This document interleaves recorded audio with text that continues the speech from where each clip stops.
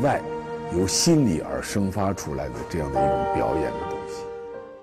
还有第二类呢，坚持标准的演员呢，他可能这个对剧本的审美不是特敏感，他就开始什么呢？看其他人，就说挑合作方。你比方说这个大的公司投这电影，有资金保障，这是一条。再一个，请的编剧、请的导演、请的跟他一起演的演员，同场的这些人，都是高水准的。而且公司在这些方面砸了大价钱。导演我请张艺谋，啊，编剧我找谁谁大腕儿，合作的姜文、葛优啊，找周润发，都这水准的。所以一判断，能在这些上砸这么多钱，你想这电影要差劲？不可能啊！而且这么多人跟我合作，都大明星，票房肯定高。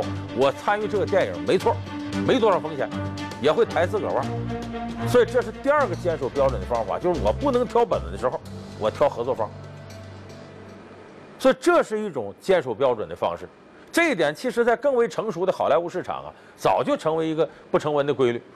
你让我举两个例子，今年得奥斯卡奖的这个呃里奥纳多，这里奥纳多呢？你说他演技多好？哎，一调查呢，发现呢，他是好莱坞十大具备票房号召力演员里头岁数最小的，就最具票房号召力这些人，他是岁数最小的。那么有人说他演技呢，有的说那都是影帝的，当然好；还有人说他不怎么样，他就跟台湾的演员马景涛似的，好莱坞的咆哮帝，什么都得大声喊。